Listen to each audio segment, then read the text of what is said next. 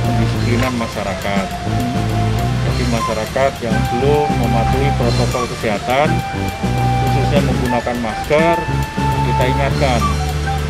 Karena saya lihat ini yang di daerah wisata ini masih banyak uh, yang belum patuh terhadap protokol kesehatan.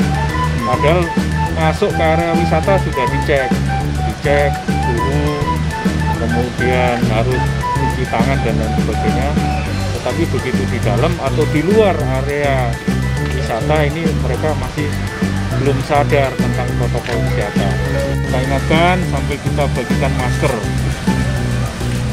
Jangan sampai nanti kita paksakan mereka pakai masker, ternyata mereka tidak punya masker. Karena ada sebagian masyarakat yang mungkin belum belum mampu untuk membeli masker. Jangankan untuk beli masker, beli makan saja susah